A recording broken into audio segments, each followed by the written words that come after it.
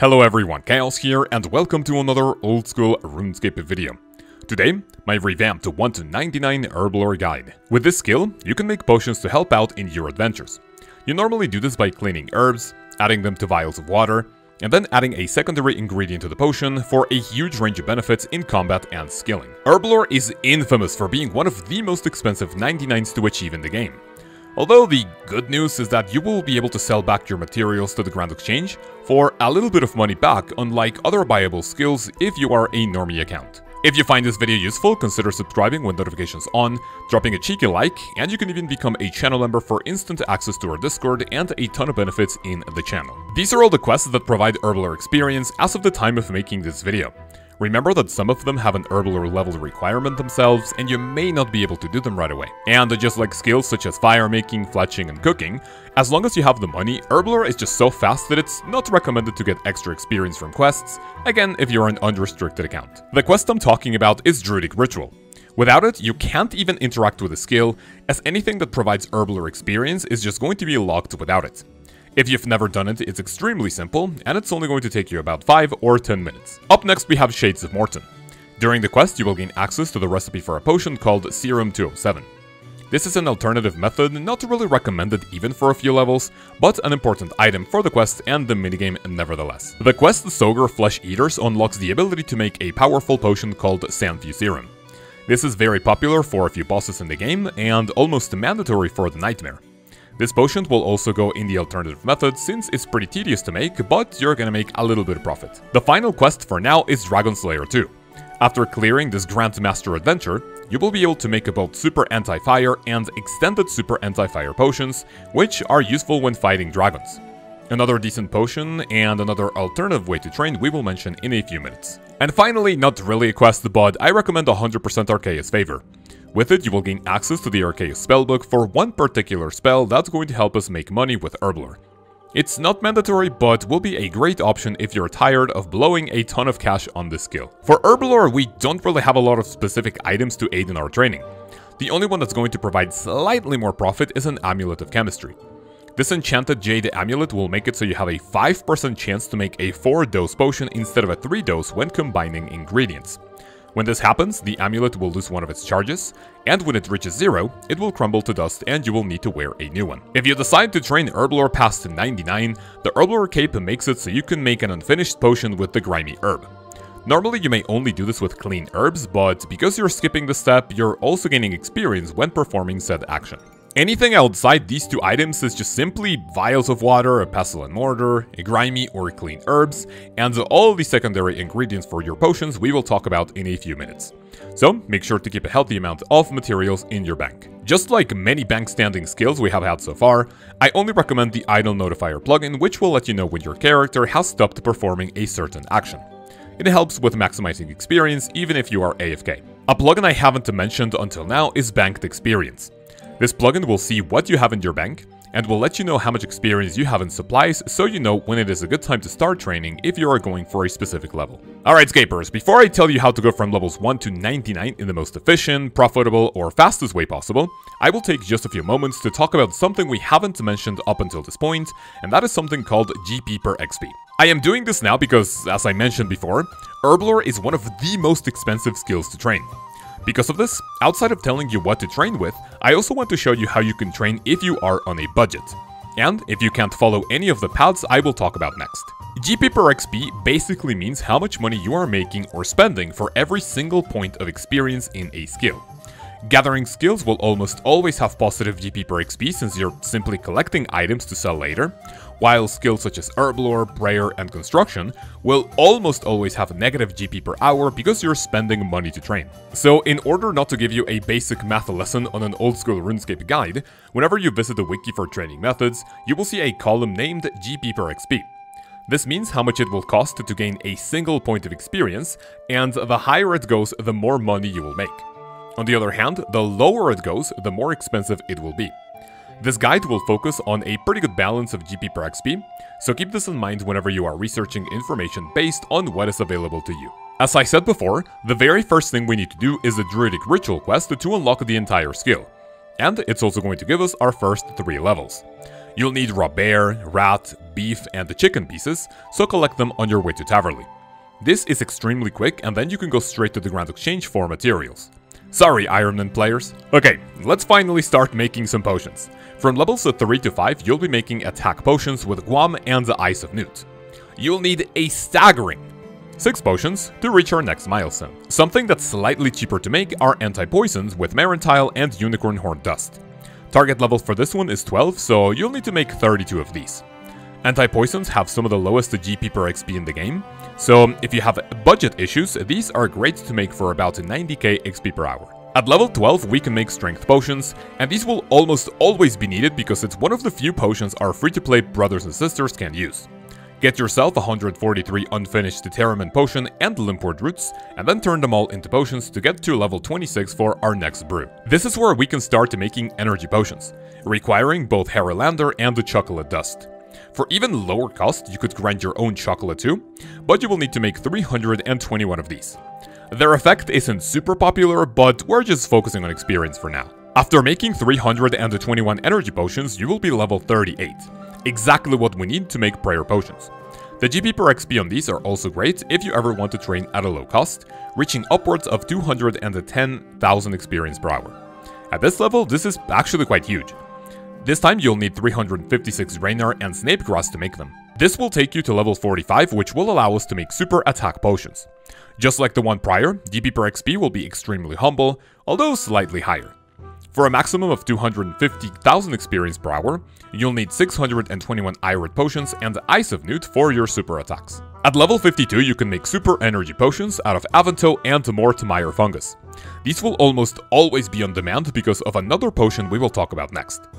GP per XP is also great for this one for a nice and juicy maximum experience of about 290,000 per hour. You only need around 366 of them. Also related to combat, you can now make super strength potions at level 55.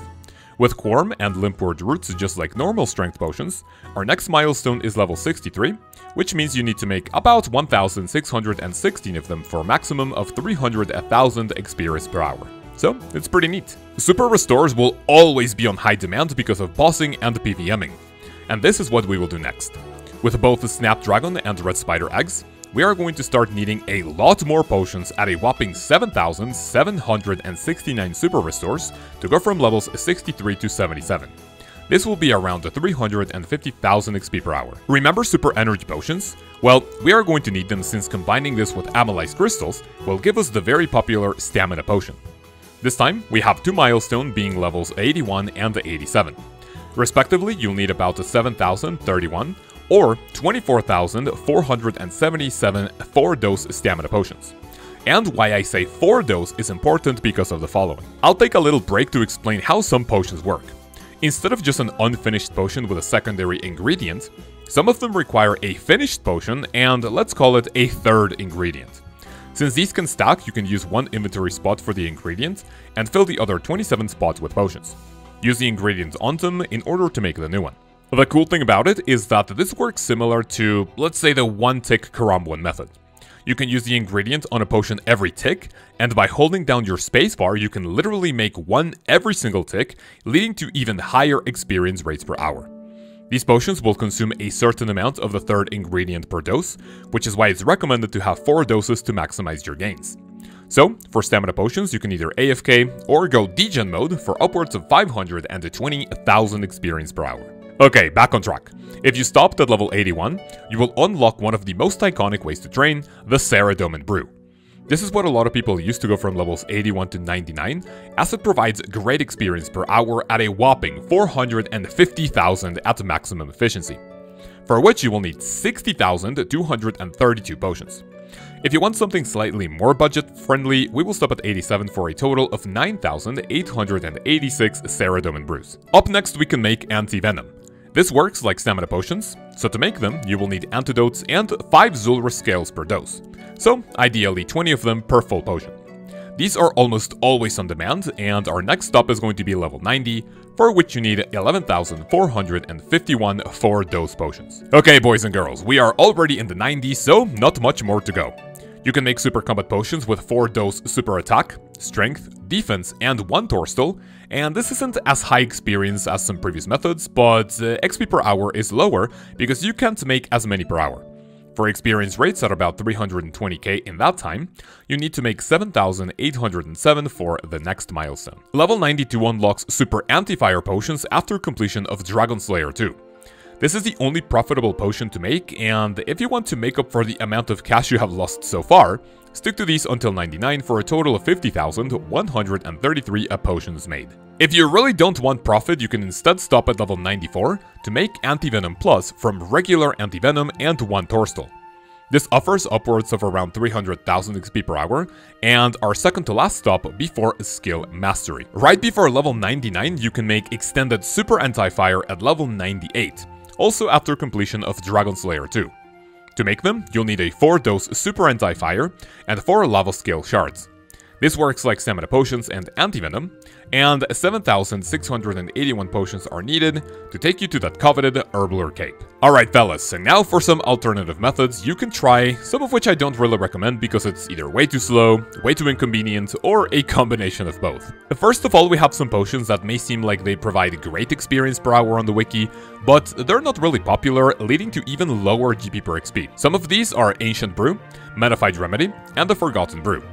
Nobody I know uses these, so we'll be sitting on your Grand Exchange offers for a long time. Next we have the Sanfew Serum, and you will profit from this, but since one of the ingredients is untradeable, you'll need to get it yourself. This will lead to much lower XP and GP per hour. A great potion to make yourself, since they are one of the most expensive potions in the entire game. If you're extremely cheap and lazy, you may buy grimy herbs and then clean them either automatically or manually. This will always bring you profit since clean herbs will always be more expensive than the grimy ones, but XP per hour won't be great whatsoever. In order to make even more money but less experience per hour, you can then use herbs on vials of water to turn them into unfinished potions to sell them for more GP. We also have the Arceuus spell called Degrime. With it, you will clean an entire inventory of herbs with a single cast, and you may profit from a lot of herbs by doing this.